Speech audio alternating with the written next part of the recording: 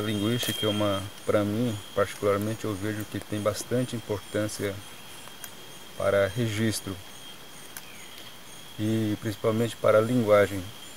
Por quê? Porque tudo que a gente está pesquisando sobre a língua é algo que está, está sendo registrado ao longo do trabalho do pesquisador e, e nesse sentido está sendo guardado, arquivado e futuramente pessoas que não têm que não têm acesso, que estão perdendo a própria linguagem, pode ter acesso com esses dados guardados.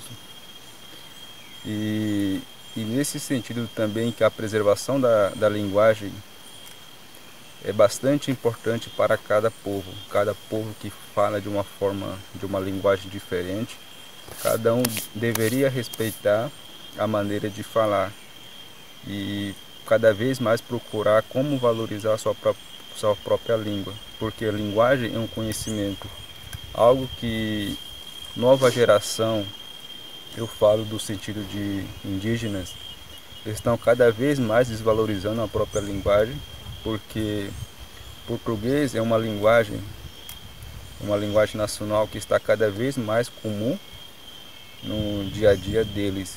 Nesse sentido, eles procuram mais falar em português e acabam é, deixando de, de praticar mais a própria linguagem.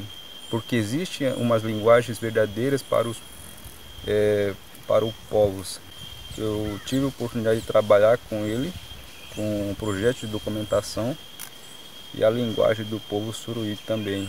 Onde que eu tive a oportunidade de aprender a entender a tonação das palavras. Existem umas palavras que são iguais para o povo suruí, como por exemplo arranhar, é, algo assado e, e, velho, que é que é ican, é, é assado, ican que é que é que é filho, o neto, e cãe é o velho.